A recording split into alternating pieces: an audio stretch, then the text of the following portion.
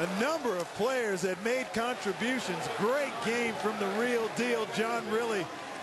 34 points, 10 of 17 from the three-point line. As we mentioned earlier, the first player to hit 10 three-pointers in an NBL playoff game. And he's with Andrew Gaze right now.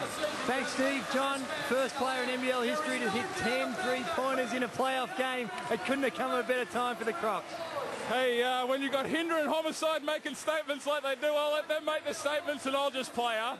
What about the, the, the, game tonight? You guys came in here with a clearly a, an up-tempo game plan, run and gun, and it just all fell into place because you guys were knocking down shots. Yeah, look, the last three or four times we've been in this building, they've absolutely annihilated us. We went with the philosophy we can't be that bad all the time, and it paid off.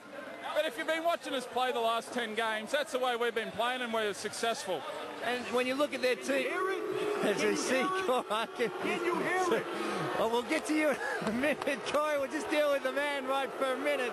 But Johnny, it's a, a hostile environment, and you're coming in this place, but you just guys seem to play with reckless abandon. Oh, look, we got some game winners on our team, and they come and play tonight. And hey, we're going back to Townsville. They got a home final. It's going to be sweet up there. And you talk about the next round against the Dragons. You'd have to feel good about them as well because you've beaten them three out of four times. Yeah, but we can't get too carried away. Hey, Gorge will be there. They're probably practicing right now, getting ready for us. So, look, let's let's live with this one and get on with it next week. And just a little bit of Crocs history: 17 uh, seasons in in the playoffs.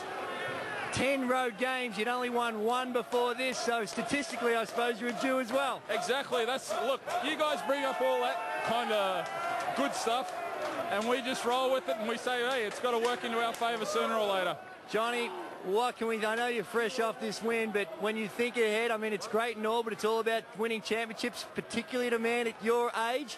Must be good to have another chance and get back into that semi-final. Drewy, I don't have as many greys as you. i got a few years left, all right? no, well, Johnny, it was a spectacular performance. We're grateful to be here to see it. Congratulations. And are we going to see this same up-tempo style of game in the next series? I hope so, because we're pretty good to watch when we're like that. Just say good day to my kids, Jaron Kale, Hallie and my wife, Heidi. Woo, yeah, she can buy some stuff with my playoff bonus now. Well done, Johnny, Rillie. Johnny, Rillie, congratulations. He's giving We might not be able to hear this because they're booing, but the Croc Nation, we love it. We love it, Gabe. But I told you, anything can happen with one night, right? Whole new season. You feel the love in here? Corey, I don't feel a lot of love, but you, you seem tonight to really thrive on this hostile environment. You know why? I've never played well in here at all. I didn't rush nothing. I used my teammates. They delivered, which enabled me to get off because the floor was space. And as you can see, I could get to the basket almost anytime I put the ball on the floor because I was patient.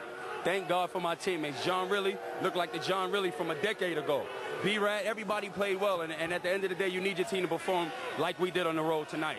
And that's true. And you got a guy like Brad Williamson who, who played a great cameo along uh, Johnny Rillie knocking down those three. None bigger than a minute to go, a point up, and Brad Williamson knocks that one down in the, in the corner. I mean, we spoke about this in the pregame. I told you, you know, to get the floor spread, our shooters got to hit. And, you know, I mean, every the stars were aligned today. I take my hat off to my teammates. John Rillie did a hell of a job all night everybody played well, and fortunately for us, we got the win. And Corey, I was mentioning throughout the, the, the broadcast your patience. It seemed like you almost had to sacrifice your natural instincts a little bit to get these guys involved in the game. Clearly, it was a, a predetermined approach that you took into this game. We spoke about it a lot. Everybody knows when I get the ball, everybody's going to try to stop me from going. So I really got to be patient. You hear the chant in here? I uh-huh. love it, Gabe. I love it. Well, now that you love it, you got the Dragons next. Give me a little something on the Dragons. I mean, to be honest with you, they're a very good team. Um, as you can see, we beat them three out of four times, and they beat us three out of four times, and we beat them. You know what I mean? So in a series, it, it, it's tough. They're a great team. I know they're waiting for us, and it's going to be a great series. Croc Nation, Green Machine, we here. Tone, Rockpool Tony, I know you see me, baby. We here. Corey, thank you very much for that. Wow, what a game. Corey Homicide Williams, 28 points, 11 of 14 from the field. Only managed to get 6 of 10 from the foul line, but I'm sure he will be excused.